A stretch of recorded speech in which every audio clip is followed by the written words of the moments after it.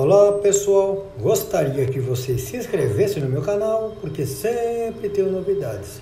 Hoje vou mostrar para vocês uma coisa que acontece com quem usa óculos, que nem no meu caso, que é as lentes ficarem sujas. Muita gente pega, passa na camisa, passa um paninho e não adianta, não limpa.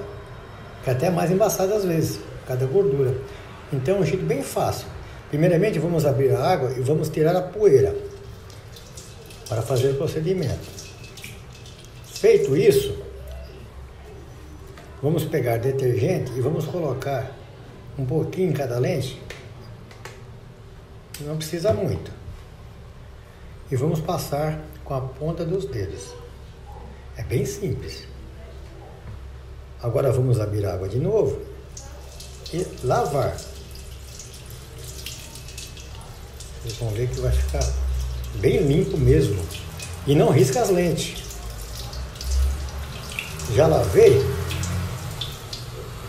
Agora vamos secar. Peguei um papel higiênico. Tem que ser papel higiênico. Ele é bem fininho. E vamos simplesmente colocar sobre as lentes, primeiramente em uma, e apalpar. Não precisa esfregar, para que não risque as lentes. É bem simples. E fica bem limpinha. Vocês veem. Ficou bem limpa mesmo.